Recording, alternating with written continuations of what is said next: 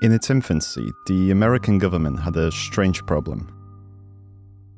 It was claiming so much land so fast that when the farmers and landowners moved in, it was impossible to figure out who claimed which piece. Until then, the only way to describe land was in relation to other things, things that were seen as constants.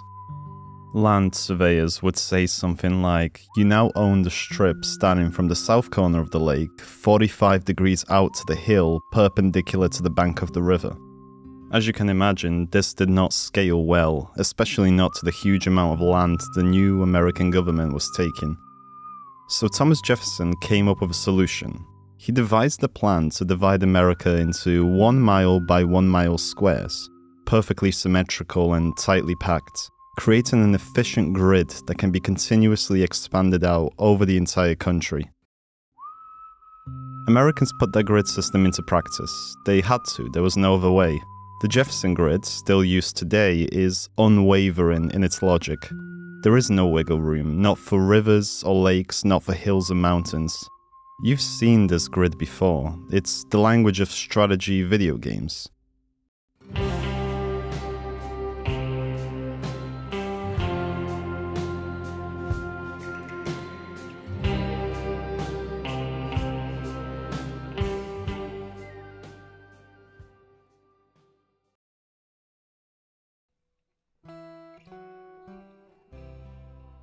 Okay, let's say you're playing Cities: Skylines and you're working on a district for the high income upper class, but you only have the information a government would have access to.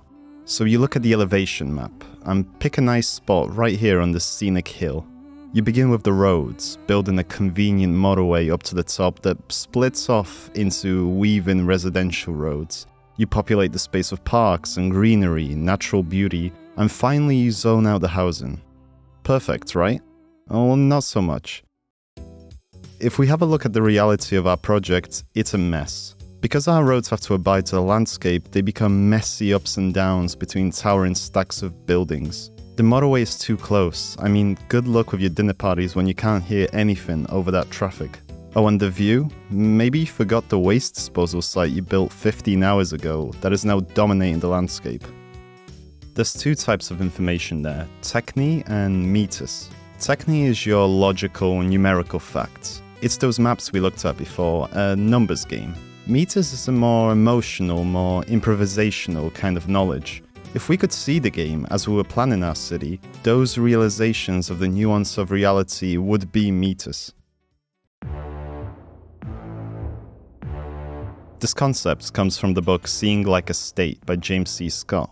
My favorite part is when it explores farmland, before central planning and the grid, farms looks a lot like this. On a map, it looks impossible to decipher, but to a village of farmers, this made complete sense. It ensured everyone had access to irrigation, that the right kind of land was divvied out for the right crops, all within walking distance of their homes. It's the result of decades of consideration and experience that grew organically. The thing is, when a government comes along, this is impossible to control. If a farmer leaves, if they sell their land, it's on the state to manage that. So what happened when this problem came up is they simplified. They rearranged the farms so that they make more sense here on a map from a bird's eye view.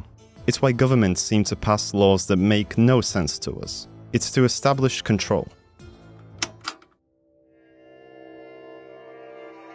Civilization does this too.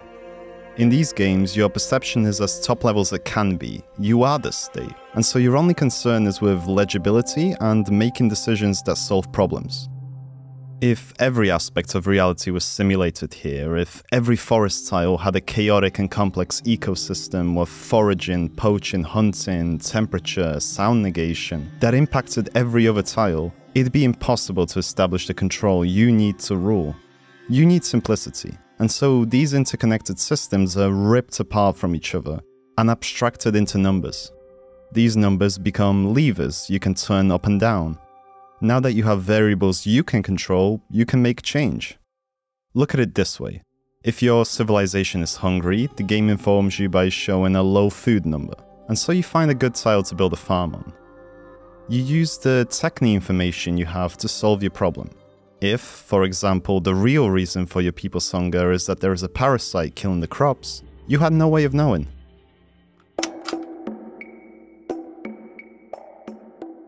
These interconnected ecosystems, impossible to control, are the key here, and it's something games are bad at simulating.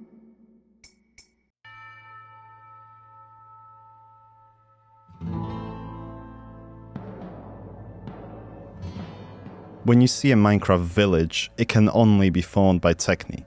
They have to ignore context, and so the engine often makes mistakes, like building this one stretched up a mountainside. Compare that to a player's home, one that was organically created. There are no levers for the state to control here, it's impossible to decipher systematically. And so, in the context of strategy games, these unknowable economies are reduced down, they become the natural blockers in Stellaris, a few numbers that simply inconvenience your system. And in a couple of turns, this number will be removed and make space for things that make sense to you. Games have to be Techne by design. They're built on code, code that has to work the same way each and every single time, perfectly isolated from context.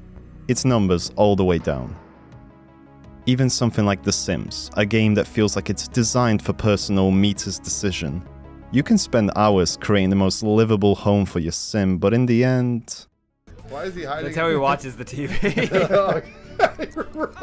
He's just staring. Look at him just stare.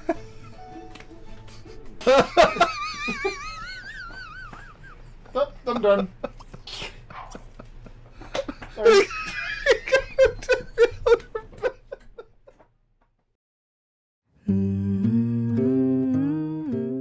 Simple, isolated levers. That's how states and strategy games have to see the world to function. It's amazing how quickly a human being's mindset changes to this way of thinking when they're put in a position of power. At the scale that you operate at, there is no other way. In Seeing Like a State, the chapter on maps ends in an uncharacteristically optimistic way, with advice on how a village can avoid government meddling. Be opaque, make all your systems indecipherable. Fill your life with so many customs that it would take a lifetime to begin to untangle them. And sure, that sounds good, but I think it's too hopeful. The states of our world are seeing us from the impossible heights of strategy games, from those same maps. And so, what is an unknowable, undecipherable community but a natural blocker?